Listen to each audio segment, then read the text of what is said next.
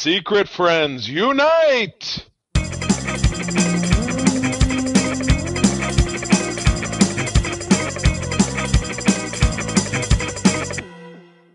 Welcome to the Secret Friends Unite podcast, episode 461.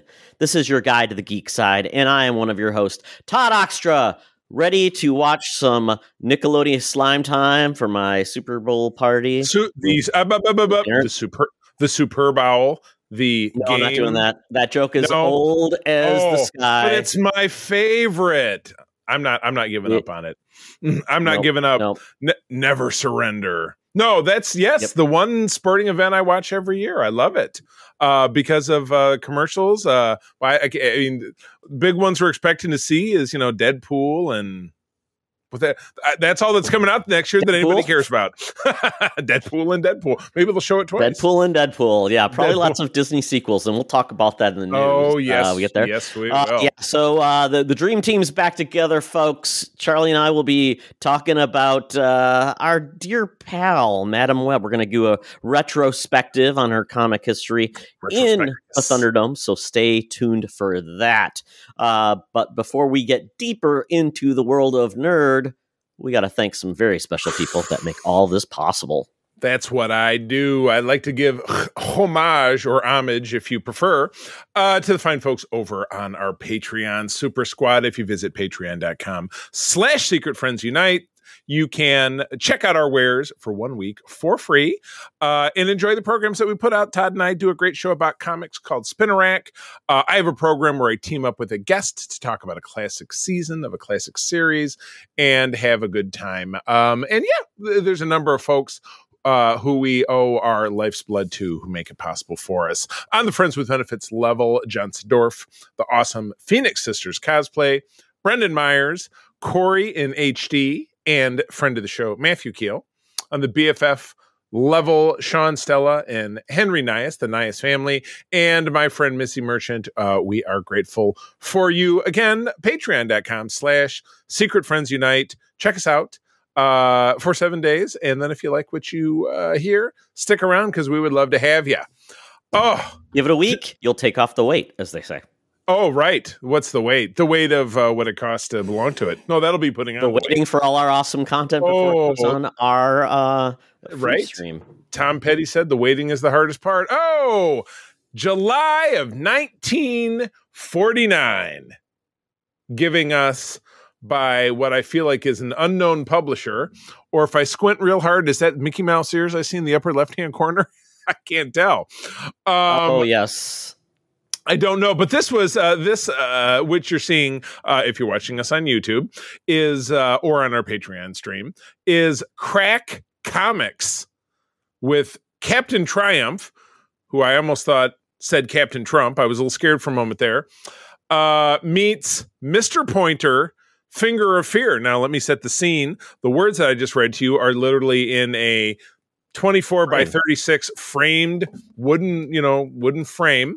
So, you know, sets the stage like he just walked in and those words were written on the wall.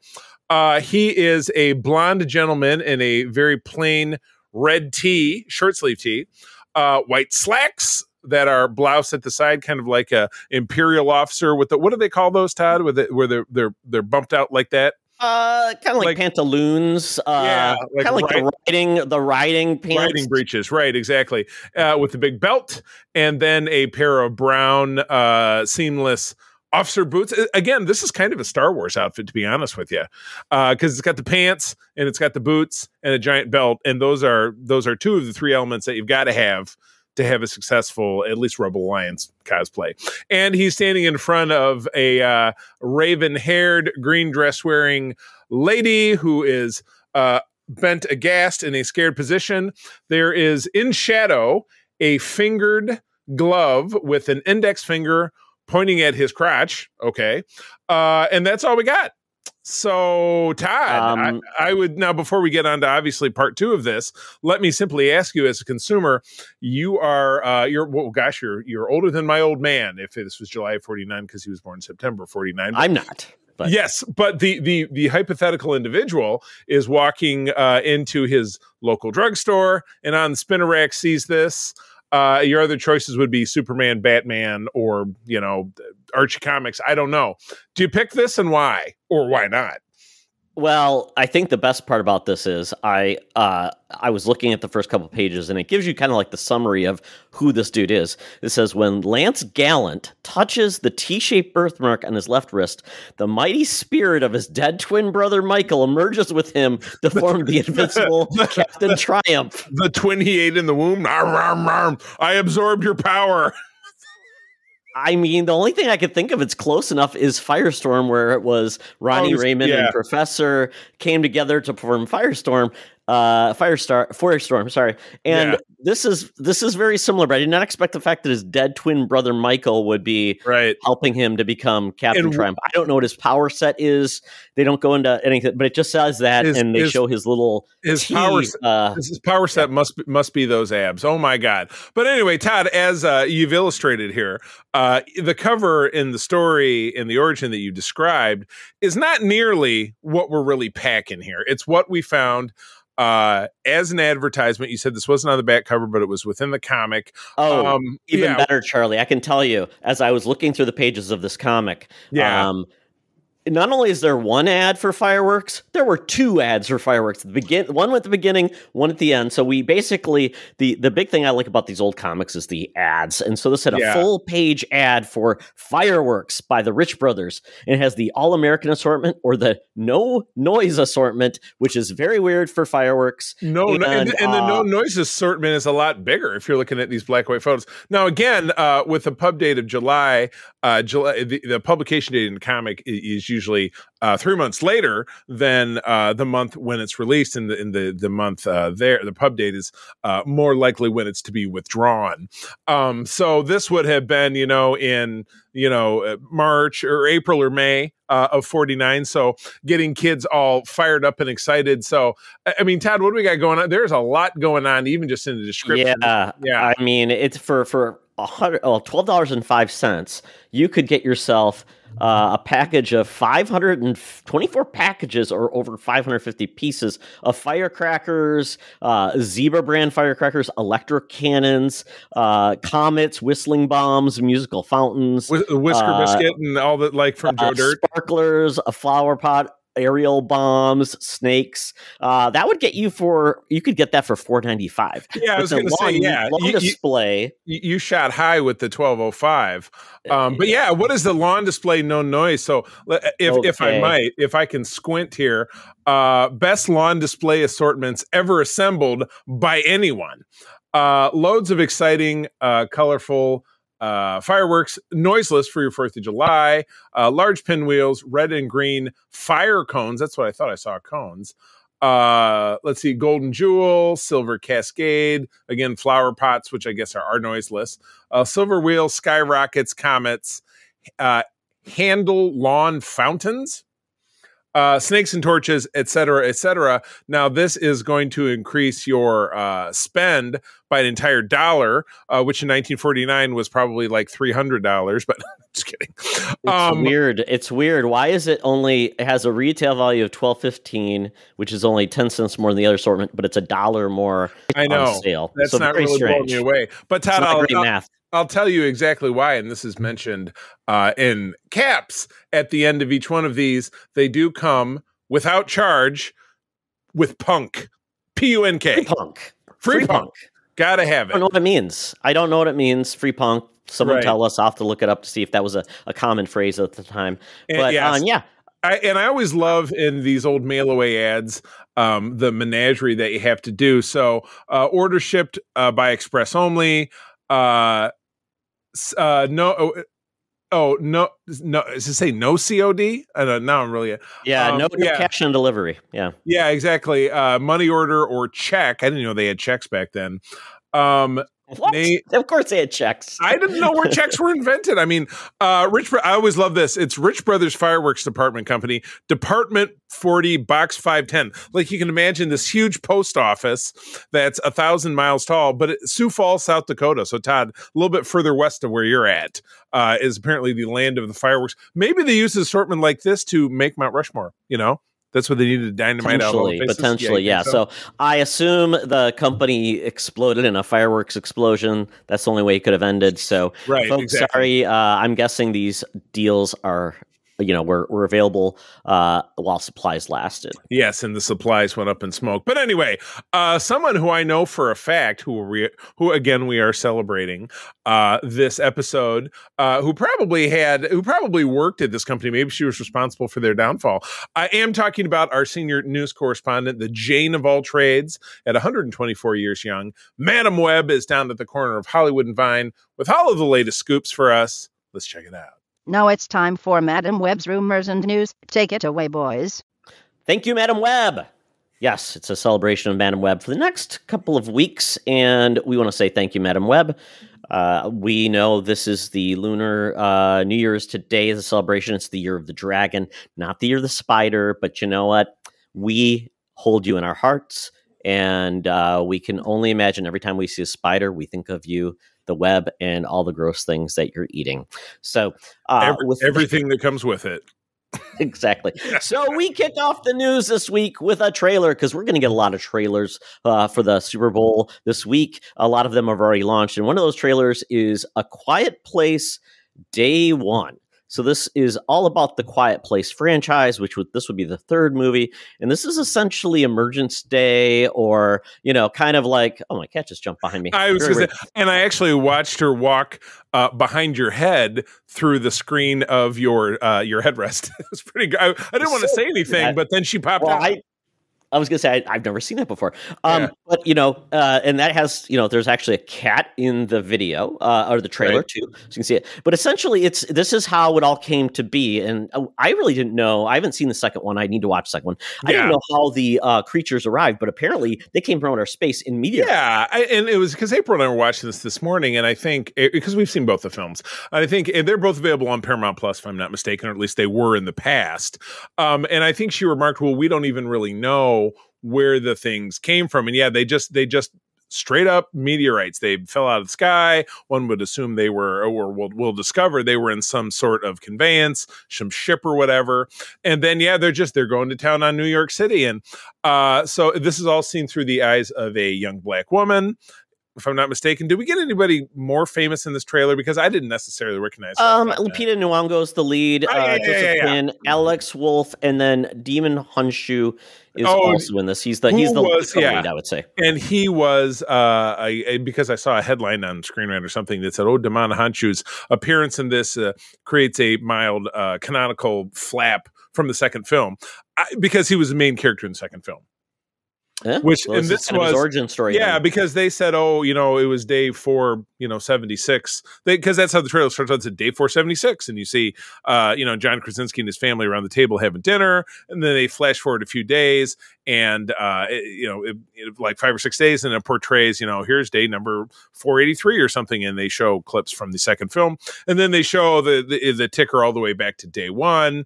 Um, so it's only been it's been less than it's been you know eighteen months that this has been going on ish without me having to do the scary math 365 days in a year. So it's a little bit more than that. Um, so yeah, lots of explosion. They had one of my favorite cliches at the end of it. Anytime you have a natural disaster that happens in New York, you got to blow up the all the bridges that lead out in Manhattan. Yep. So we got we got one of those. A nice media. I don't know which bridge it was, but one of the one of the borough bridges that leads off the island. You see, go up in a plume of flame. Um, so yeah, big monster movie to kick off the uh uh what this is coming out at the end is at the end of April, so it's not going to factor into our contest, Todd. Uh, it is June 28th, so this will be Oh, right very the good. Yeah, of so this- summer films. So yeah, we'll have Um, to do our research to see if it uh if it if it fits the bill in being in our top 10. Yeah, and uh, John Krasinski's not directing this one, but he helped. Pro- he's like in charge of this franchise now, essentially. Oh, He's okay. executive producing it. And um, the funny part about this is obviously the creatures like noise to track them down. Being in New York is like the loudest place in the world, so Oh, absolutely. don't think this is going to end well. And and quite honestly, I'd be surprised how anybody figures out that they like noise because it's New York. Yeah, it's just Hey! nothing but a I'm moving here. The guys, are you I'm crossing the ah! monsters. Hey, have some za. Hey, monster, you want to ride in my cab? I'll give you Hey. some za. What you got to do? Gabagoo. You want some gabagoo? Oh, they're not over in Jersey. Excuse me. they have to Yeah, go to Jersey these and, and really bad New York impressions. Yeah. Yes. Uh, so yeah, check this Oh, out. I hope it's good. I'm not normally a fan of prequels, but this one looks like it, it should be decent because you know it's probably a self-contained story with focused Right. on a couple of people, so that may work. Right, and and and you're not and you're not jamming down like, and this is how John Krasinski got his special thing or whatever. This is how blah blah blah. It's just the only. It looks like the only character of note would be Djimon Hounsou's character, and I Sure. guess I'd have to watch the second one again to really even. I don't remember much of the story other than it picks up almost immediately after the end of the first film, and you're following Emily Blunt and the newborn and the kids, and they wander off and find another settlement where I think Guy Pearce is there or something. I can't remember. I really do have to watch it again. I, I was going to say I need to watch the second one. I never did. Uh, yeah, I'll probably watch it before the prequel comes out because if I get a, my Right. my movie pass again, not movie, not the Yeah. movie pass, but the pass I, I go see movies with here mm, for the Mm-mm-mm. summer mm-hmm. because I can see movies cheap. Right. Ours went up by a couple of bucks, but still is for the two of us, it's it's fifty bucks a month. Um, which if you go see four and a half movies between the two of us, it's paid for. You know I, I mean? turned mine off uh, essentially, I think in October because I'm like, there are hardly any movies coming, and quite honestly, Yeah, we- I we would probably should- not we get pro- my fill. we should probably do the same, maybe even after the, the movie we'll see next week. Because I just, yeah, but I mean, we still, you know, we'll still go see something stupid. Like went and go, went and saw the Beekeeper, and we had fun seeing it because it was so bad. But I mean, it's something we enjoy doing together. So if you were just, if you were going by yourself, which is what you do, and you're like, wow, this is a huge waste of my time. Yeah, totally. Yeah. totally. Exactly. Yeah. Twenty bucks So- a month for that service is not a bad deal to see like three No. or four movies a month. Exactly correct. All right, well, moving on. Uh, there's a new big screen opportunity to do what? Ah, come on, don't, don't make me spoon feed it to you, Todd. Get to the chopper with the Predator, folks. Meow, meow, meow. I did I jump ahead? I'm sorry. You're looking at me like I'm crazy. you still there? You can't hear me? Keep going, Did keep going. I can hear you. Did I, did I mute myself? You're- You're referencing another podcast on our podcast. Please stop. There's a there's a podcast called Get to the Chopper. I've never heard of it. I did. oh, well, that yeah. Well, I don't know. Oh. No, I, I thought See- it was something see, from yeah. Daily Planet because you normally refer to that podcast two or three times. Okay, so I wasn't sure. That could have been one of the catchphrases I missed on there. One of No, the podcasts you sign up that, for. that that I, I wouldn't see how that would catch as a catchphrase because how do you use it? I don't It's know. They time use a get lot to of the catchphrases that make Huh? no Yeah. sense unless you're like, yeah. So Right. yes, we're Yes, getting a, a a new entry in the Predator series. Um, essentially, it's a series that has had ups and downs, but the last entry was Prey, which essentially was a the, it was an or the first predator sighting on Earth, and it was amazing. Had a lead Right. character, Native American, and Dan Trachtenberg, who's also done uh, uh, the the movie, the monster movie uh, from New York. Uh, the, there was the sequel with um, uh, John Goodman, where they were in the Oh, Clo- Cloverfield. Cloverfield. He Yeah, did. so he did that was- Cloverfield Lane. No, Oh, okay. He did yeah, the Cloverfield first. Lane. yeah, the first one was JJ, wasn't it? Or it was he produced it, it, it- no, it was it was a, it was part of his. He produced it, but it was not him. Oh, But yeah, there you go. John Don uh, Dan Trachtenberg did um, Prey, and now he's doing Yeah. this. So um, he is a huge fan of certain franchises. He's loved the Predator, and he did a great job. So I'm excited to see where this goes. And this movie, um, essentially, he'll be uh, producing it, and it's going to be set in colonial. Uh, uh, uh, so sorry, no, that's wrong. That's the first one. This one, uh, the sequel is going to be called Badlands, which tells me this is probably going to be a western, like almost like Ooh. the West in the like o- Oklahoma, North Dakota. Yeah. area. You see, what works about this, and it even really applies to what we were talking about a moment ago, as far as a prequel that works, is simply the setting is the focus, not all the member berries. Like, hey, do you remember this guy? Do you remember that this thing is going to happen? And do you remember that this is uh, this is how Boba Fett did this thing and that thing? But that's where prequels fail, right? Like the Star Wars prequels. You know, it was like, oh, do you remember how Darth Vader was this angsty little teenager, or how Darth Vader became a bad guy? Well, this is why. Well, this is simply like, hey, the predators are ancient, are an ancient alien species of hunters, and they've always come and visited, going back to, you know, because Prey was set in the 11th or 12th century, I think, and you know, in, in North Very early. America. Well, it was not wasn't Yeah. that early because we had remember we had like French for trappers, so it Oh, probably so like like 16, 1600s. Yeah, yeah, there you go. Yeah. So yeah, if this is set in the maybe this is set during the Dust Bowl or something. You know what I mean? I mean, you never know. You know. Eh, eh, yeah, So, yeah, Wild West makes a lot of sense. Like just yeah, like like well, I think of like Badlands. I think of like you know Western. So this is Yeah, going to be like um, so older. So know, yes, l- 1920, late, eh, like 18, 18, like 1800s. Yeah. Yeah, prior to a lot of Right. technology, but you've got guns, most likely. Yeah, Um, right. maybe trains. So predators on a train. Anyone? There we go. Oh, s- snakes on a plane, predators on a train. Yeah. So and, and you know, take I, our I think we're not. I mean. And it's probably going to be a different predator this time because they come back, and so it's not like you're going to have like, "Oh, you killed my brother, predator! I'm going to kill you! Yeah, right.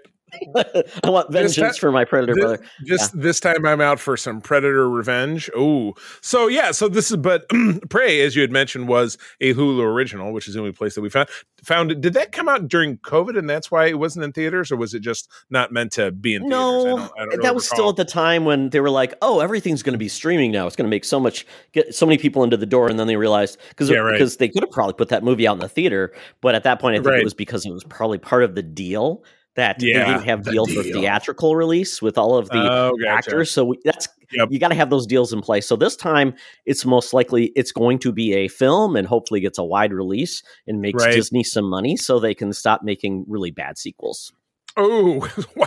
what a beautiful segue. Um, but anyway, uh, before we do that segue, I'm imagining uh, if this is being announced in 2024, it'll go into production. We'll see it in 26, uh, much like we are with another release that I'm sure we'll talk about. Moving into talking about the folks over at Disney trying to find their find their ass with two hands, so to speak, and find a way to stop, you know, bleeding from the face or other parts of the body, like they did in 2023. Because Disney was Disney was dying. They, I don't. Did Didn't they have a any- billion dollar movie? That was the first year they had not had a billion Yeah. dollar movie in like they, I mean, but they they didn't really have. I mean, tell me if I'm wrong. Anything that you would generally consider a Disney level success in 2023? Did no. something, Uh, did Guardians of the Galaxy well? would be the only. Yeah, Guardians yeah, of the yeah, Galaxy is the only movie I would say it did really well. But even Uh-huh. based on that, it's still not up to the. It didn't make a billion dollars. So Yeah, yeah, even yeah, global, oh, meaning globally, I assume you mean. So it Correct, stayed globally. stayed under stayed under a billion. So uh, Disney's big answer, uh, and again, there was a separate uh, bit with Bob Iger saying, you know, we're just, you know we're going to slow everything down at Marvel, and we realize it's too much too soon, and people just don't like it. Um, but what this is being translated into a little bit more directly uh, as we're looking at the next uh, three years plus is get ready for sequel town i would say usa but it's globally. Um yeah they're leaning real hard into hey what can we do that people can say hey i remember that thing.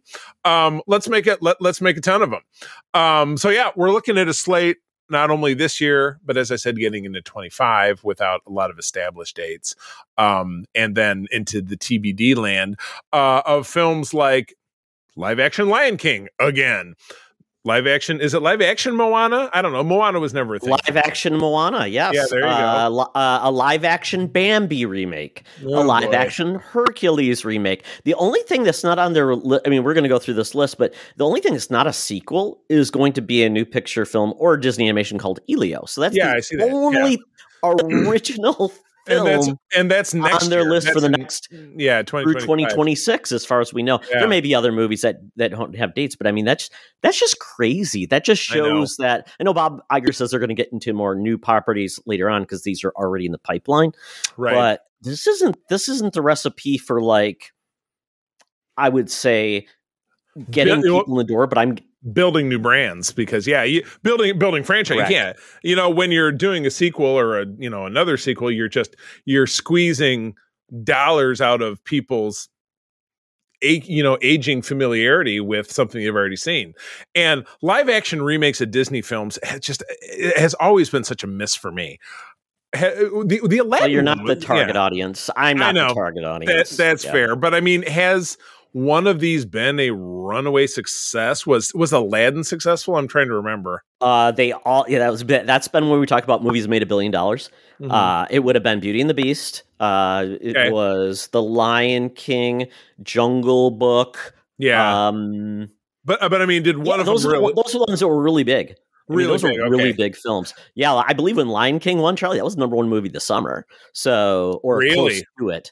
Yeah, Ah, yeah. okay. Aladdin made like close to a billion dollars too, and, and it was widely wi- panned. That's just wild, wild to me because I just. But yeah, you're right. You hit the nail on the head. We're not.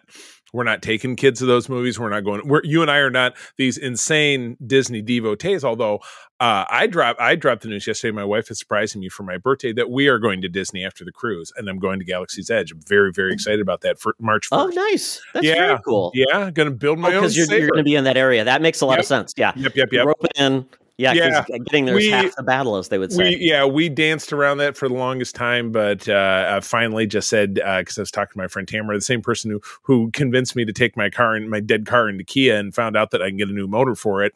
Um, I just took a chance. So anyway, not to get too far afield off of the story, but to talking about Disney. Um, yeah, they're trotting out Toy Story again.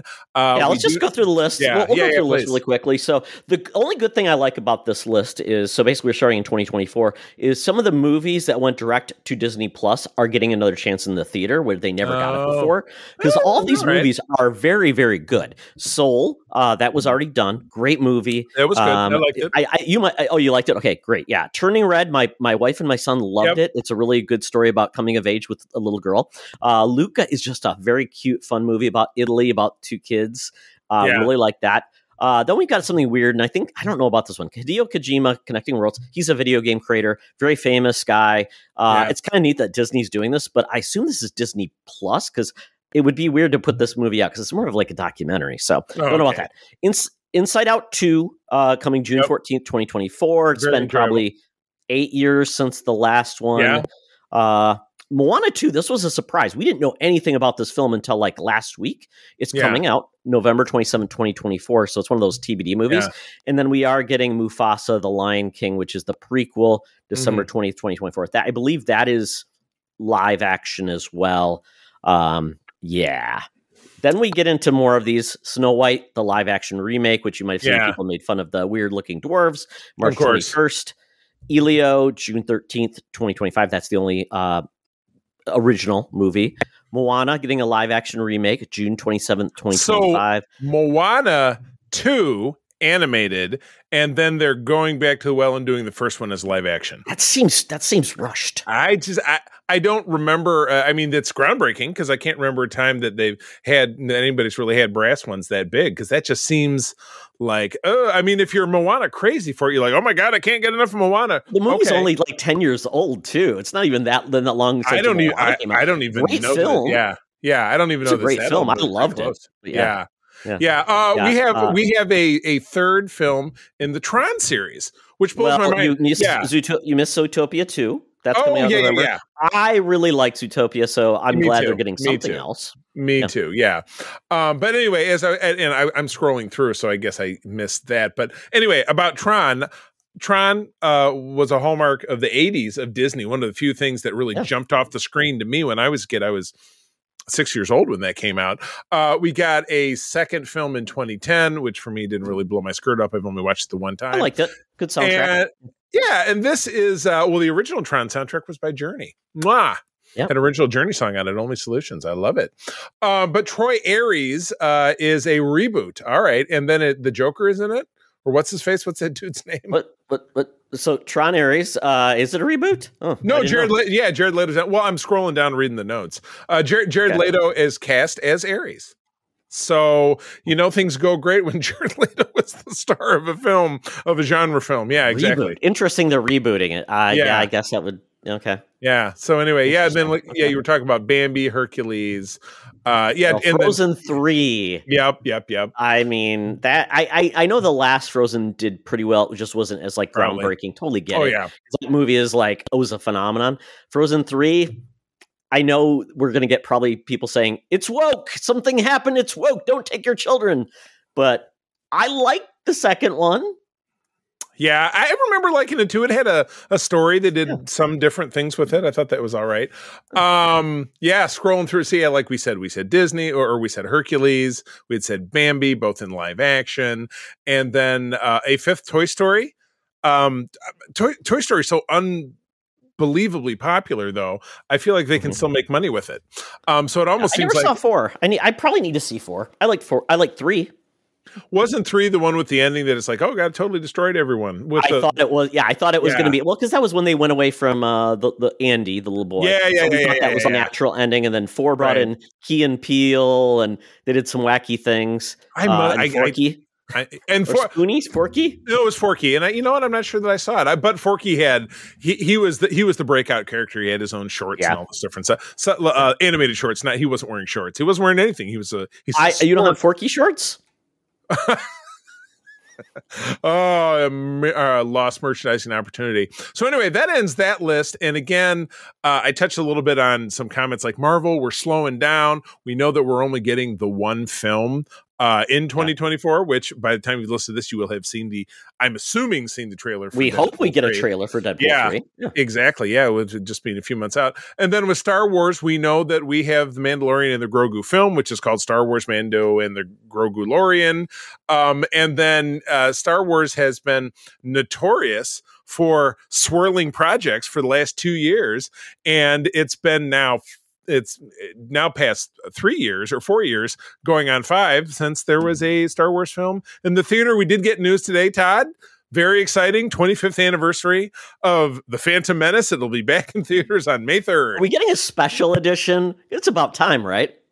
Yeah, well, that, well, that's that's kind of how. No, well, we it, has got to be 30 years for special edition. Remember, because that's Ah. the way it was with the OT. So So who's going to get to choose what they screw up and do a new McClunky and have a Uh, Jabba? Who, who gets to do that? Well, maybe with the Phantom Menace, they'll take Jar Jar out. What do you think? Ooh, the Phantom Cut. I want to see the. fa- I don't. I want to see the Phantom edit. the Phantom I, I, Cut I don't even know if it exists anymore. Yeah. with all of, with all of Jar Jar yanked out. So yeah, so that's that. Um, yeah, with 20th Century Fox or yeah, or no, it's it's just called 20th, or is it just called 20th Century? 20th Films now? century. 20th Yeah, century exactly. films. Yeah. So yes, this does mention obviously we've got Kingdom of the Planet of the Apes coming out this year, and aliens, an alien Romulus. They're going to have Romulan aliens. Are they going to all have pointed ears now? Correct. Absolutely. Wow, good deal.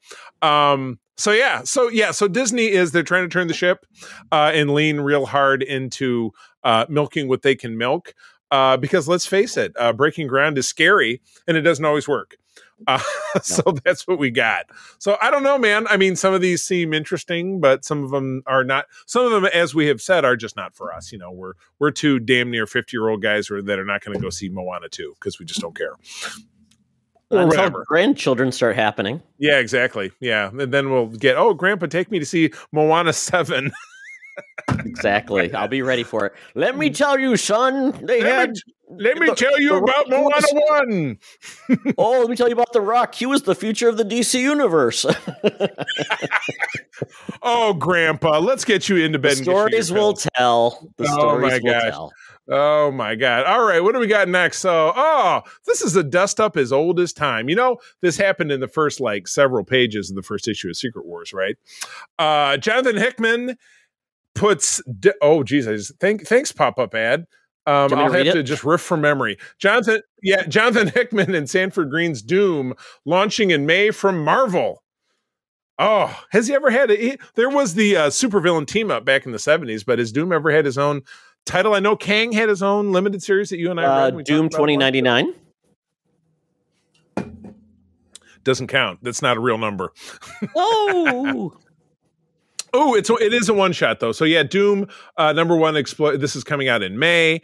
Uh, Doom number one explores Doom's ultimate quest for power against Galactus. Again, if you read the classic Secret Wars, celebrating its 40th anniversary this year, in the first five pages of that, uh, Galactus flies out of the little dome that the Beyonder brought all of them to his planet with, and is like, "I want to eat the Beyonder's energy or whatever." And then Doom uses rocket jets and flies after him and the two of them get zapped by the Beyonder, and eventually it leads to Doom absorbing the Beyonder's power. Blah blah blah. So Galactus sucks Doom rules. There you go.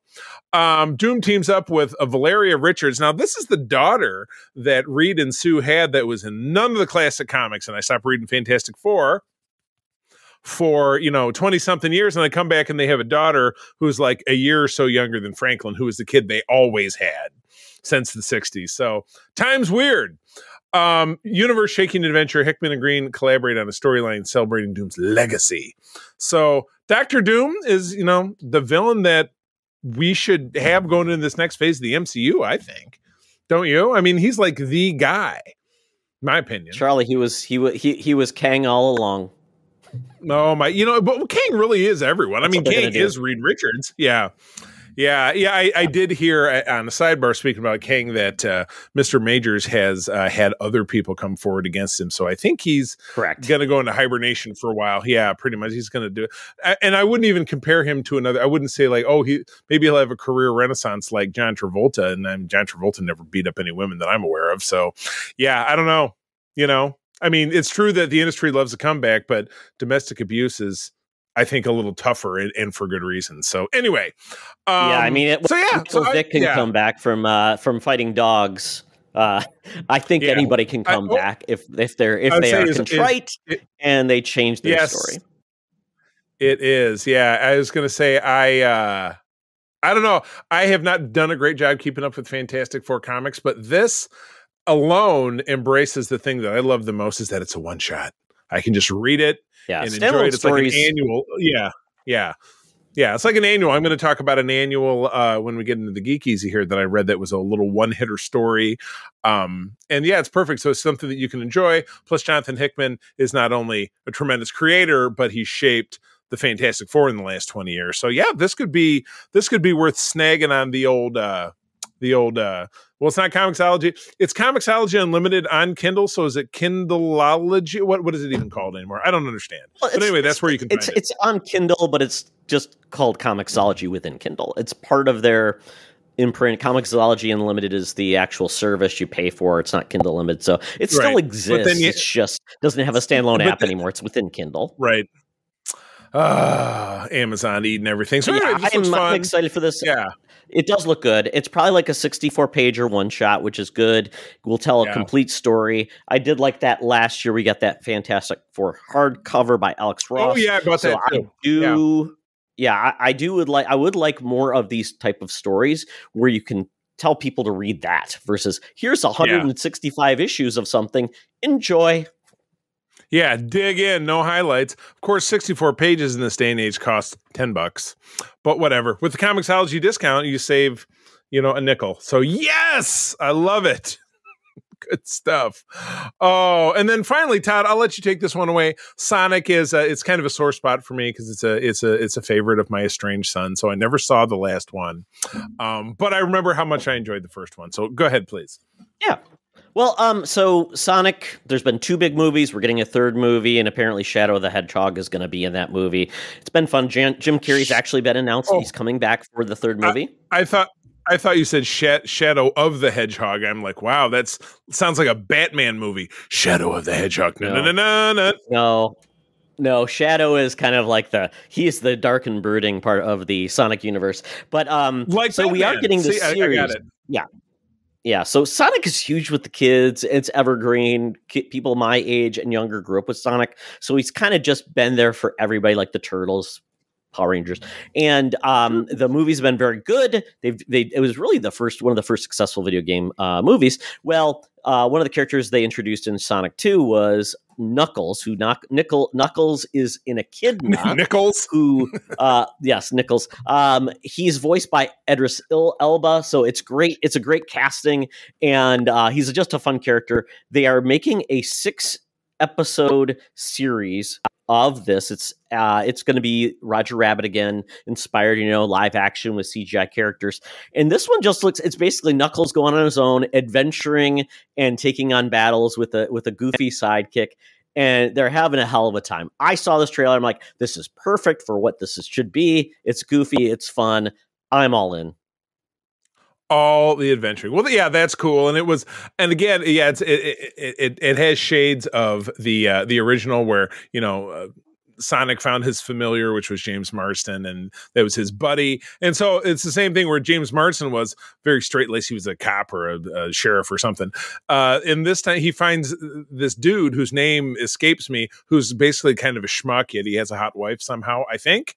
Um, and uh, he's gonna. Yeah, Adam Uh, the- Pally. the- I knew he was an Adam. uh, I knew he was an Adam. The, the the woman you see is actually James Marsden's wife. Oh, that's So- why she looks so familiar. So Yeah. this is probably his brother or his cousin or something.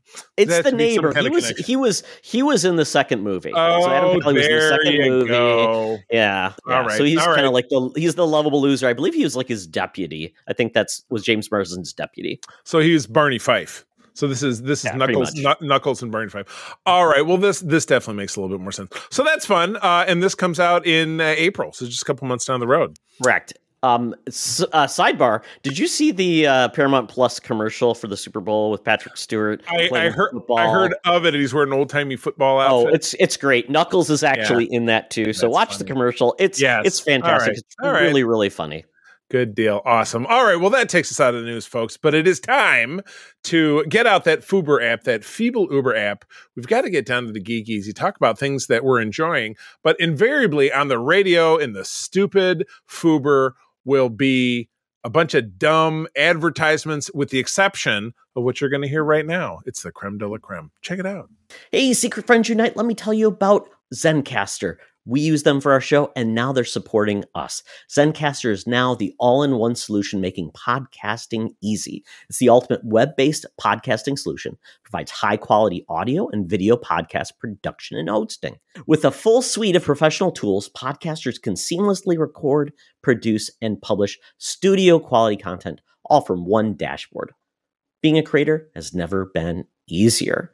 And we chose Zencastr because of the ease of use, uh, high quality output, and we it makes it super easy for our guests to come on.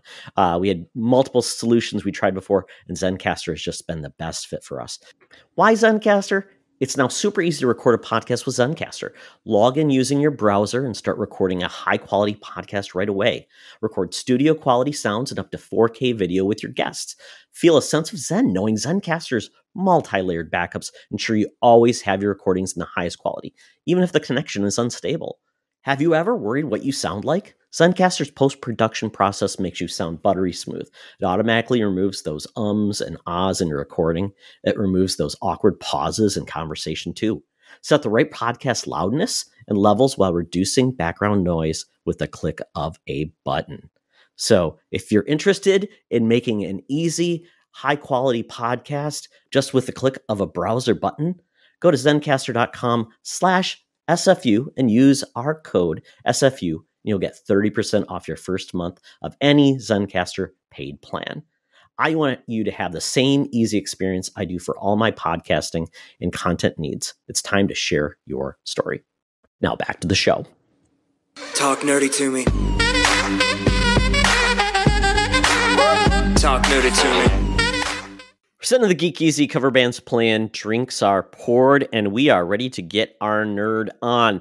So, a light week for me. I've been playing a lot of video games, so haven't had a lot of time to watch new stuff. But the one thing I did watch new that dropped on Friday was Halo Season 2 episodes And you- and you one watched- and 2. Two of them because there were two of them dropped as well.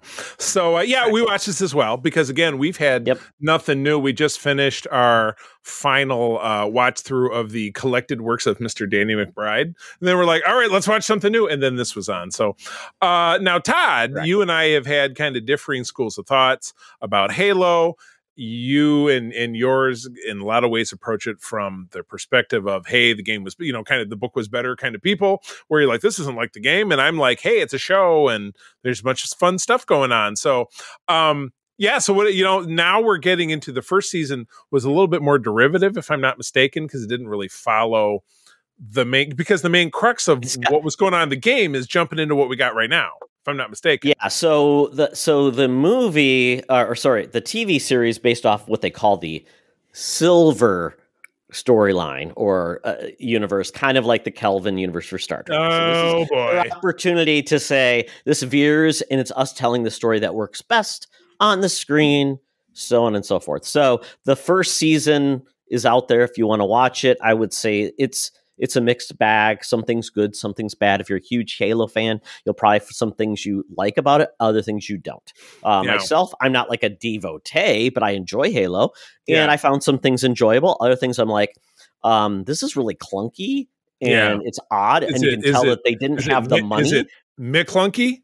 Yeah, probably. McClunky, yeah. So you, if you even compared like Last of Us versus this, Um, you can tell they're on different levels. Last Yes. of Us is just a good movie or a TV series. A long And- movie, yeah, exactly. Halo is kind of like a sci-fi original. The best way. The Battlefield Los Angeles. Kind of like that when sci-fi was making this is what it feels like. This feels like a lot of those adaptations you would get like oh it's the resident evil film. It's resident evil but we're doing something a little bit different with it. Um Yeah. so uh season one was kind of a prequel getting you on board with who these main characters were season two is where it's really supposed to kick off and we are really going to get the moving the plot forward. Um after watching the first two episodes i don't want to spoil anything. The first episode the first opening sequence is amazing Mm-hmm. the rest of it, mm, kind of bland, kind There, of there, it does seem to be kind of all over the place. Uh, but again, Yeah. as someone who doesn't know what place it's actually supposed to go to, I don't really have a take on that other than, you know, I'm looking for some kind of some kind of action driving a narrative that's exciting and picking up from pieces of the first season because it's an ongoing story, correct? I mean, you do see like N- Natascha McElhone's character is in there, and uh, I, I couldn't remember if she died or Yeah. not. Or I like we started up, and I'm like, I don't remember because that was back. Oh, that was on back in 2021, wasn't it? I mean, it seems like it yeah, it was, was a- two years ago. yeah, so I just don't. I guess I didn't really remember a lot, and unfortunately, thanks a lot, Paramount. You could have given me last season on, and might have caught me up a little bit. Now I don't even remember what the hell happened. I thought Um, there was a uh, previously on. Ah, not in the not what not with what we were watching, but I could be wrong. Okay. So I- yeah, I- I, I thought there was that caught me up really quickly. Yeah. but I mean, this one is is is kind of like I said, it's picking up. Um, this one is going to be dealing with. I, I- I think we get foreshadowing that more will be happening with the enemy, the Covenant, which is, um, quite honestly, I think the show works best when there is something driving you forward. When Yeah. we veer off to like the side characters, Yeah, that's when I feel like the show just hits a. Why are we with these people? They're so boring. yeah, Nothing right. is happening, and it's, It's like boring. And they haven't done a great job of kind of tearing what is you know what is the thrust. We've got some drama, obviously, between Chief and maybe the new leader and things like that. And there's some things going Right. on, and there's there's some character moments, sure, but wow, it just seems like they need to do something with their pacing or do something that better uh, makes it feel like when there's not action, it's still pretty good. You know, when there's character development and things. And I think that's where they're struggling. It's the rest is Yeah. still a little clunky and it doesn't clunky. feel like as good as it should be. And I Right. feel like we're not getting more of the action because of money. and that's a shame because Microsoft is the biggest company in the world. Microsoft is worth $3 trillion. They could throw like a couple coins at their budget. Just that. Like there'd be just a dude standing there and be like, "Bing, Well, bing, a coin bong. to- oh, what's going coin on?" to Microsoft, is, a coin to Microsoft is $100 million. yeah, here you go. Here's a couple of million dollar coins. Bing, bing, bong. Put a couple more. in one hour. put a couple more ships in there. So, Yeah. um, yeah, I, just, I, I you know, again, I'm uh, with the first couple of episodes. You're right; it wasn't blowing you away with the rapid velocity of the story and the great uh, transitions with the pace, pacing. But who's to say? I mean, we're getting a little bigger picture of. Big bad guys, imminent threat, which is all stuff you see from the trailer. So again, not trying to spoil, but you know, we'll hang in there. Again, we don't have a lot of other new shows we're watching right now, so this No. is kind of what's on the radar on the family calendar that this comes on on Fridays. So we're excited about that. So Yeah, Um, you know what, Charlie? I do hope we get though is Disney Plus showing a trailer for X Men '97. Give me that, guys. I, honest to God, thought it would be on right now because I remember. I did seeing- too. Yeah, seeing In a scratch date that it was supposed to drop in February. So big ripoff. Not impressed. But yeah, who knows? Yeah, we shall see. Yeah, they this could be is. Uh, I think this is eight. stretching. eight uh, I think this is eight episodes long, maybe Yeah, ten. yeah. So it's Yeah, yeah, weekly eight. drops again. Yeah, Uh, we get Ghost uh, starting next week too. Some new stuff is coming out. The Super Bowl held everything, or the, the NFL playoffs held everything back from having Right. new episodes. So next week, everything is coming. it's it's all new again. Well, something that did come out that they did actually drop all at once, which is funny because we're talking about a show on Prime Video, which has a really weird way that they release stuff. Like this time last year, that Daisy Jones and the Six was like, we dropped three episodes, then we dropped two the next week, then one, then three, then whatever it is. And then Reacher was the first two, and then it was once a week and whatever it is. Um, so today, all or yesterday, all eight episodes of Mr. and Mrs. Smith starring uh, Donald Glover, who we love, and Maya Erskine, who I'm like, I looked her up and she seems familiar, but just not was not really in something where I'm like, that's her. Um, but uh, yeah, they're Mr. and Mrs. Smith. There are a couple of people that apply to join this top secret agency uh out of it was like the answer to an ad out of the paper because the first portion of the first episode they're doing a uh, virtual interview where they're just um answering questions that come up on the screen so there's there's no there's nobody else on the somebody else on the other end but not somebody they're looking at and uh they get paired together but the pairing is that they are married um, but in this case, I'm trying to remember the original film, which was from the mid aughts with uh, Pitt and Jolie, and it's how they got. Is that how they got together? Yeah. No, they were. They had no clue they were both spies. No, And no, no, no, no. actually In competing in in real life. Oh, in they- real life, that's where. Yeah. The, yes, they Yeah, had yeah, a uh, entendre on set. Yes, indeed. So anyway, this uh, film was not that because they were paired, but they were strangers who are now married, Mhm. and yes, they're secret agents, and they get it they get uh, a uh, an assignment. And they go off and they go off and do it, and uh, yeah, so the, you know they changed the premise of this quite a bit. Uh, April, and I- they're an hour long episode, so I think we started yesterday and we finished it up at lunchtime today because we're just we're Mm. just watching it. We didn't have anything else to do. It's kind of a great, you know, we had nice weather this week, but today it's kind of gray, so we're just hanging in, um, and uh, and watch it through. I found it enjoyable. Absolutely, it's not super gruesome. There's you know the occasional headshot and blood splatter, but it's not Reacher where you know it's just nothing but him kicking the shit out of people.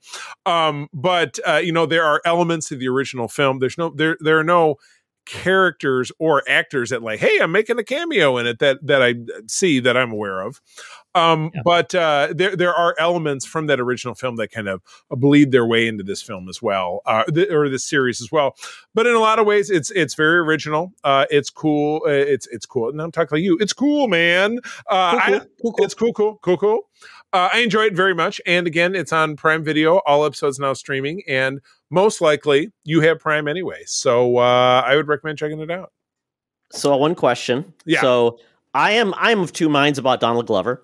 Okay. Um, I adored him on Community, but Yep. a lot of things I've seen him since in his persona, you know, is Childish Gambino. Uh, sometimes he comes off as very aloof, kind of like I'm too cool for school. He kind of, I kind of felt sometimes I feel like I don't feel like he is like. Sometimes I feel like he's just not all in it. It's like he's I'm I'm too cool to be playing this character. right. um, like How does he come Mars. off? Does he feel like he's yeah? Do you feel like he's like all in? He's like not trying to put on airs. Um, I, I didn't find his character to be particularly um sticky if that's what you mean like Mhm. hey like i'm I, yeah exactly i'm too good for this and i'm the superstar um Yeah. i thought he played well off uh, getting my Ers- Okay. Which again i feel like i should know her for something and i had to look her up and i i was like i don't know you from anything um Mm-hmm. so yeah so the, the real answer is i think he did fine you know and i think and i think they Cool. did yeah i think they did together but yeah you know look at him like him as lando uh in the han solo solo movie yeah too cool for school totally agree um, I mean, I totally get yeah, it as Lando, yeah. but it's just like sometimes his persona Yeah. comes off like um, Yeah. I, I like the Troy because he was he felt sincere, he felt like you know very passionate and lovely and showing many ultimate tears. And I know I've never seen Atlanta, but uh, when I've seen of him in there, he just does once again seems like he's too cool. Uh, kind of yeah. Uh, it's like is this a persona or is this who you really are? Right. um and you know fun fact uh phoebe bridgers is that who it is? Was originally supposed to be in this. Oh phoebe waller-bridge? Oh that would have really would, would have really been Yeah. something. That's too bad. Yeah. Uh, yeah i think that would have been and again you know because maya erskine is the one who i thought played very aloof uh, but that, Oh, really? that- but that was the nature of her character. Okay. But again, I'm not really comparing her to anything because I don't really know her as a character. So anyway, and then Yeah. secondly, real quick, I had mentioned this in the last segment that I read a standalone uh, annual this week, and uh, you know, damn you, uh, the folks at Screen Rant or Trek Movie or one of them that snagged me for this. But one of the ongoing Star Trek comic series, which I gave up on, I had a subscription, and they just kept. I was not reading them; they just kept piling up, and I was like, I'm just gonna, I'm gonna cut it off, and then someday, somewhere, uh, maybe I'll pick it up again. But they have several ongoing series, and one of them uh, is just called Star Trek Defiant, obviously named after the ship that we know from DS9. Um, and uh, it, was weird that it had an annual because I figured, you know, if they would just call it a Star Trek annual. But what caught my uh, attention about this one is it was centered around the Romulan character of Sela, who is the daughter of Tasha Yar, who's a character from TNG early on, that uh, through some uh, what wibbly wobbly, timey wimey stuff, Tasha Yar ended up in the past and ended up fathering a half Romulan child who grew up to be a Romulan officer who, in this parlance, you know, which is we're now set 10, 15 years after TNG, she is a disgraced character. She she goes back in time to try to right the wrong and, and fix the thing that screwed up her career and ends up running into our universe's version of her mother right before the beginning of Star Trek The Next Generation. And I thought it was a cool story um, because it, it was very fish out of water. Um, they did a pretty good job incorporating because Picard had a one line throwaway of how he and Tasha Yar met prior to TNG, and they built that into the story. And uh, it was pretty cool.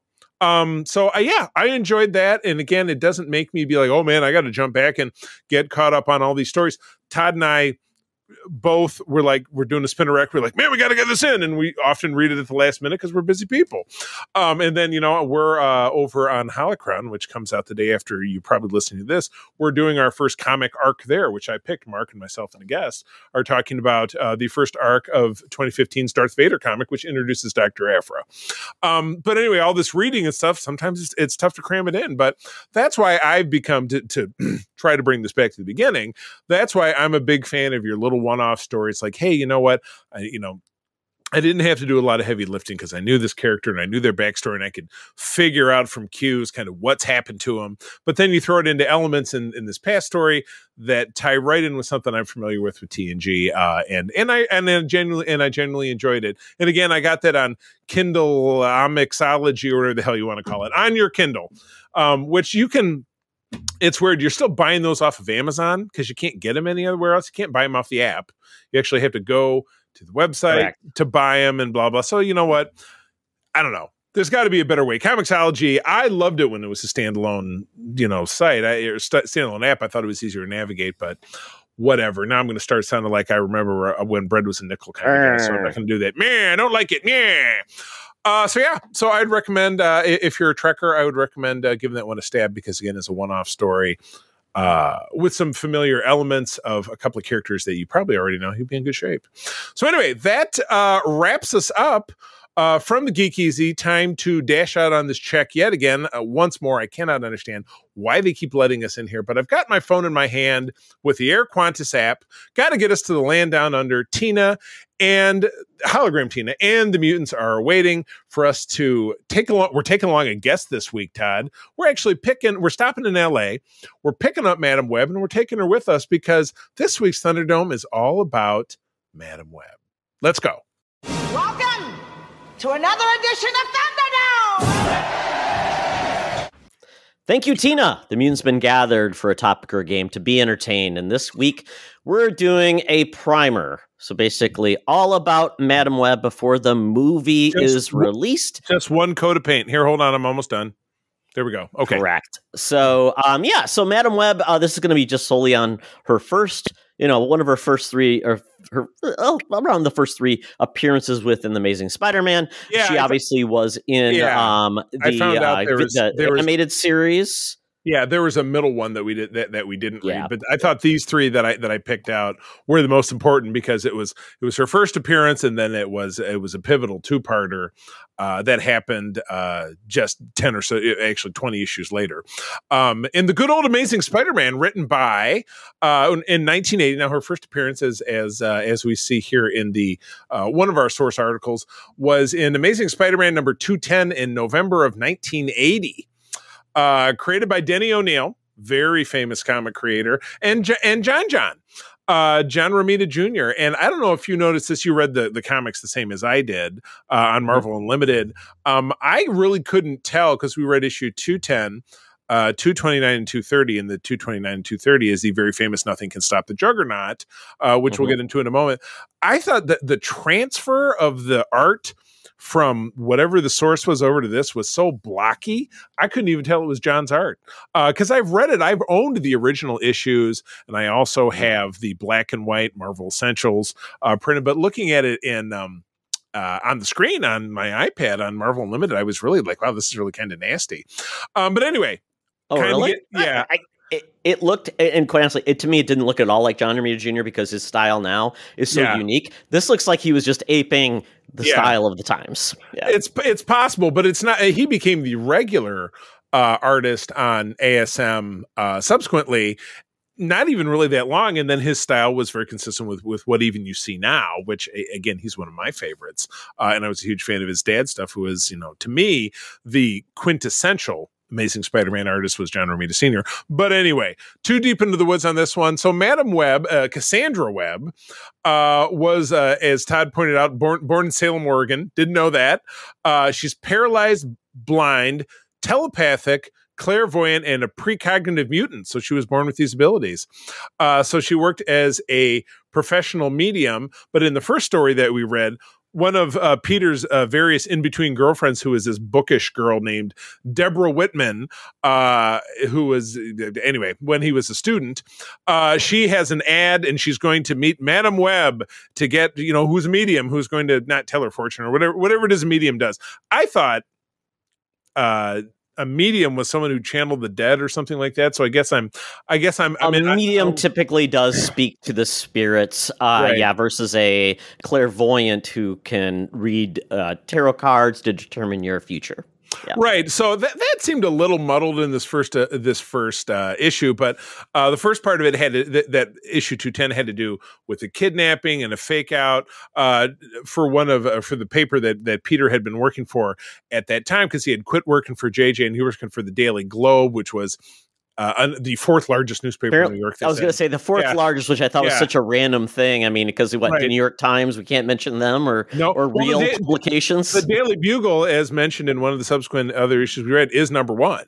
Um, so in this universe, perhaps beat you know, out the yeah. Times. They beat out the New York Times and New York Post. Uh, they Hmm. did. Well, those are obviously two and three. But anyway, yeah, uh, Madam Webb, even though Peter initially d- dismisses Madam Webb without having met her as a fraud, he's drawn back to her through the course of this mystery, and she uses his abilities to help her rescue uh, a, a woman and uncover this plot, and then which essentially puts the- Publisher, the, Yeah, owner yeah, of the actual right. newspaper, who Exactly.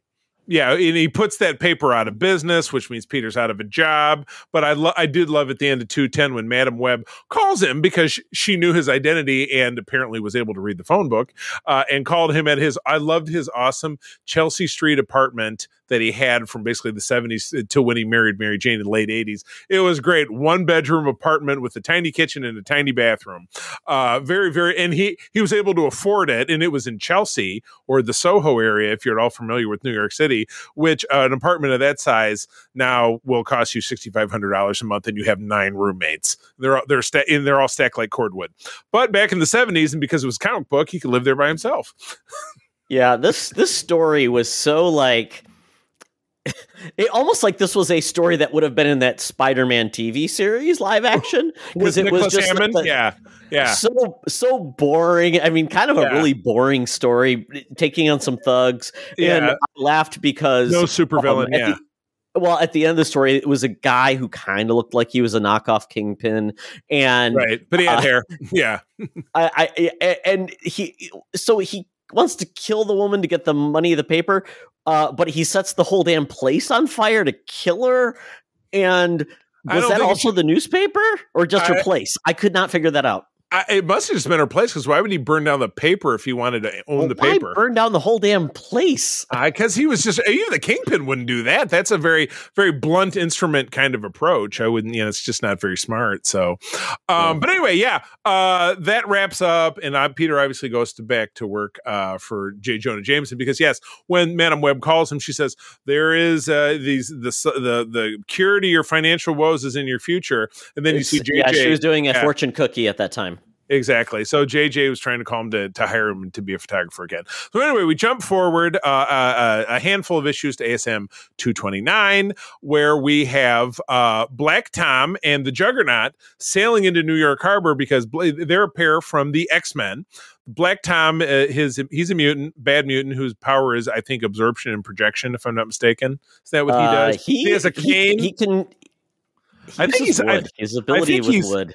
He's on my figure shelf. I can see because I have the jug. Yeah, I have him and the Juggernaut on my figure shelf. So yeah, He's, but Irish, so and they, that the, the name is Yeah. not uh, about his physical appearance. Yes, he's yeah, Uh, yeah. Which was a gag in Deadpool too when Deadpool was in the prison. So he, his his yeah. abilities is he can manipulate and bond with force energy through plants.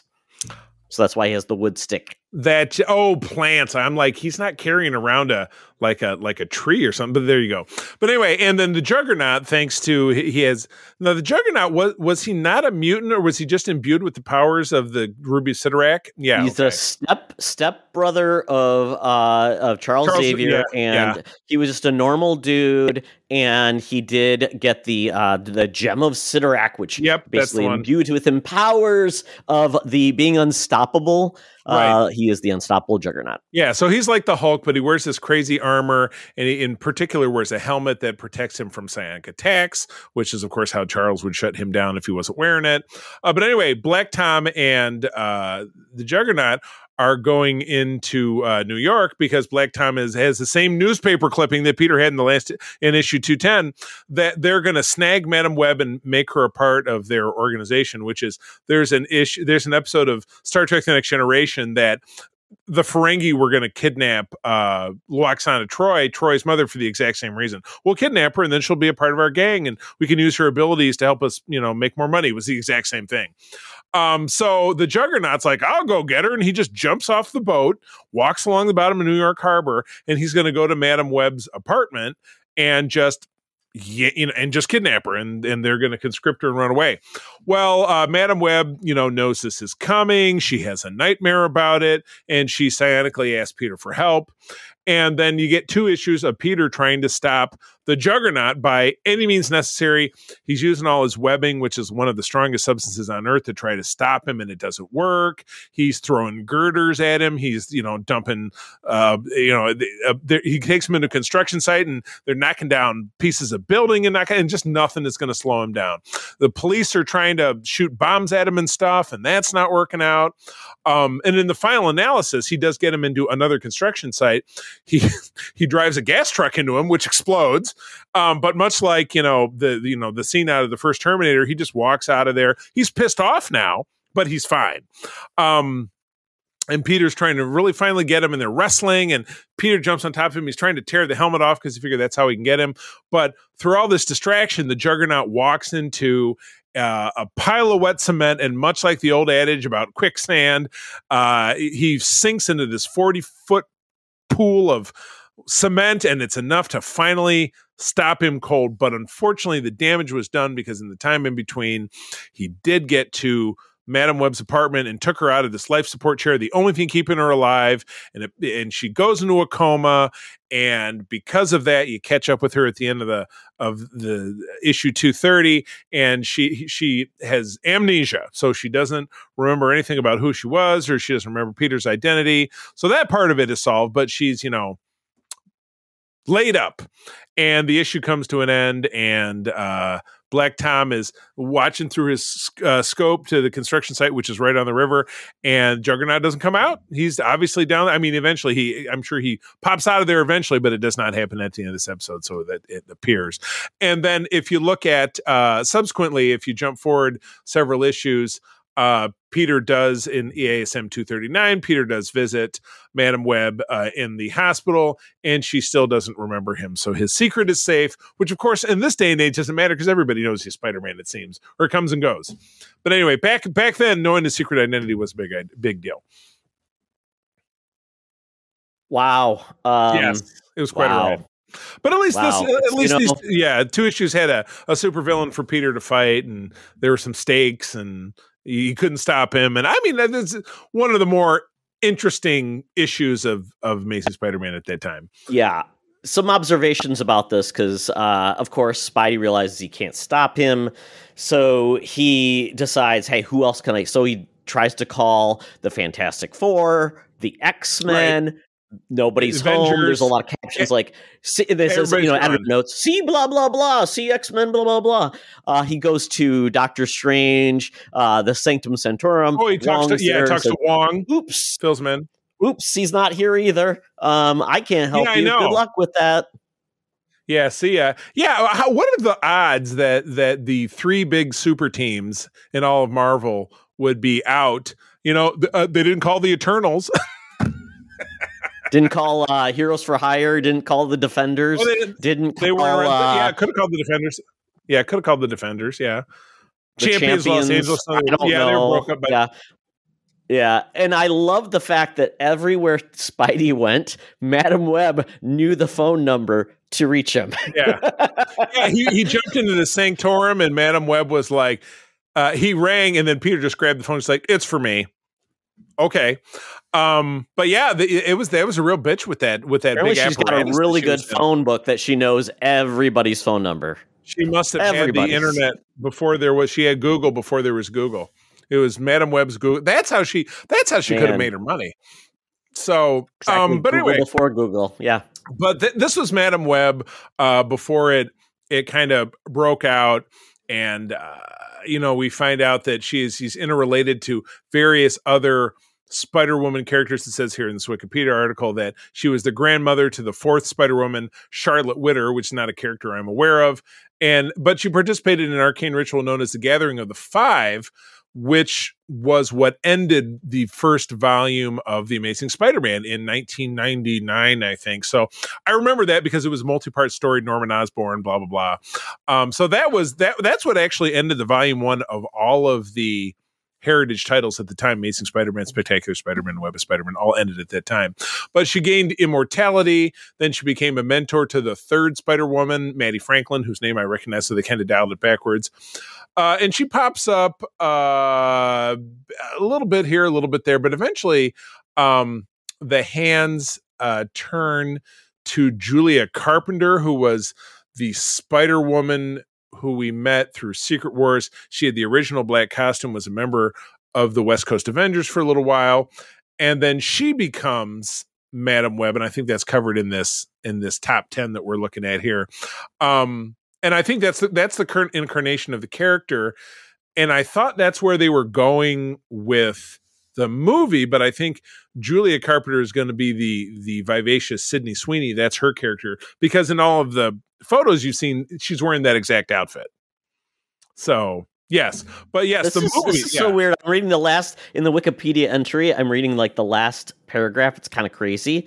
Um, it says, Oh, uh, the, the clones conspiracy, the dead no more. "Well, I- before dying from clone degeneration, Madam Web tells Julia to save Prowler." I'm like, and that's when she died. Oh, okay. Well, thanks. Yes, exactly. I remember the clones conspiracy. That was actually a a decent storyline uh, that happened five or six years ago. Uh, and I've got a trade paperback that's got all those. So I actually enjoyed that, but for some reason was not really remembering her role in it because again, it was one of those big crossovers uh, that every character who had ever died in all of Spider-Man dumb was cloned. And the main person was Ben Reilly, who is the original Spider-Man clone, posing as the Jackal, who was the guy who first cloned Spider-Man, who was a villain back Wow. in the seventies. Yeah, it was a whole well, thing. I hope in the new Ultimate Spider-Man book that's coming out, Madam Web returns in all of her senior glory. That would be great. But anyway, yeah, that is uh that's a lot of Madam Web so far. Um, I will be real interested, particularly after reading these three these first issues and then going over some of this history. That when we when you and I resume uh, after both seeing the Madam Web film, which comes out next week, what how like if you're going to be able to pick up on the Easter eggs and stuff, and and if, any of that should work out. So I'm you know this is the first superhero film of the year, I think. Um, and uh, part of me is really looking forward to it. The other part of me is absolutely terrified because none of these SPUMC movies have been good, at least in my opinion. I mean, we started with Venom, which you said you enjoyed, but the second one was dreadful. Morbius was horrible. Uh, wasn't there another one? Nope, Wasn't that's it. But we are getting And then Kraven, and then we We're get getting- Kraven, and we're getting which- two uh, yeah, Yeah, which would the Kraven three looks movies this year. absolutely dreadful. So yeah. Oh, and we're getting a third Venom movie, so which I'm not at Yep. all looking forward to. So, um, so yeah, Todd, any other thoughts about Madam Web before we wrap it up? you know, from humble beginnings, who knew that she would be where she is today? Uh, you know what? Uh, she doesn't get anything from these comics. Uh, hopefully, she's got a good deal with the movie.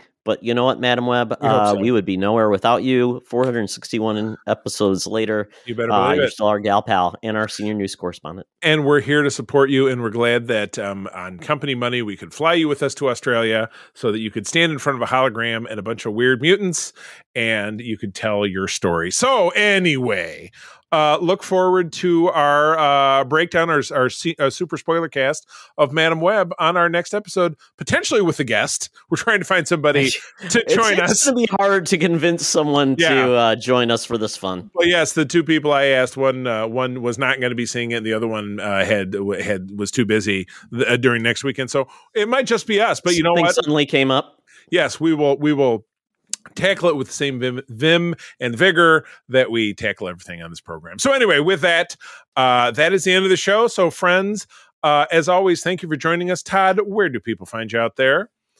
Uh, they can find me on the uh, threads uh, at Toxtra at Secret Friends Unite. Good news, threads now added GIFs. So uh, it's almost a complete service now. We're getting there. Very exciting. I am also over on Threads and Instagram, C3 Carpenter, spell it out. Uh, I'm also on, of course, our Secret Friends Discord uh, and the Discord of the USS Grand Petoskey, which is the chapter of the International Star Trek Fan Club that my wife and I run right here in West Michigan. I'm privileged enough to uh, head up Region 13 for SFI, which is Michigan and Eastern Canada. If you're a Trekker within the sound of my voice and would like to meet trekkers in your area, uh, please visit uh, sfi.org, the USS Grand Petoskey website, uh, and drop us and drop me a note, and I'd be happy to help you out. Uh, get some trekking back in your life. Uh, friends, as always, thank you for joining us. I'm going to tell you that sharing is caring and to keep on trekking. Trekking, trekking, trekking, trekking. Be the hero, not the villain. In a trek truck. Ah, the web you weave in hopes to deceive. Thank you, Madam Web. Oh, yes. This podcast is part of the Secret Friends Unite podcasting network. Visit secretfriendsunite.com for more great shows, articles, news, reviews, and more. Secret Friends Unite podcasts are available on Apple, Google, Spotify, and other podcast services around the world. If you'd like to be part of the conversation, you can join us on Facebook or our new Discord server, or follow at Secret Friends U on Twitter. Please subscribe to Secret Friends Unite on YouTube and visit our merch store at teepublic.com. Just search Secret Friends Unite.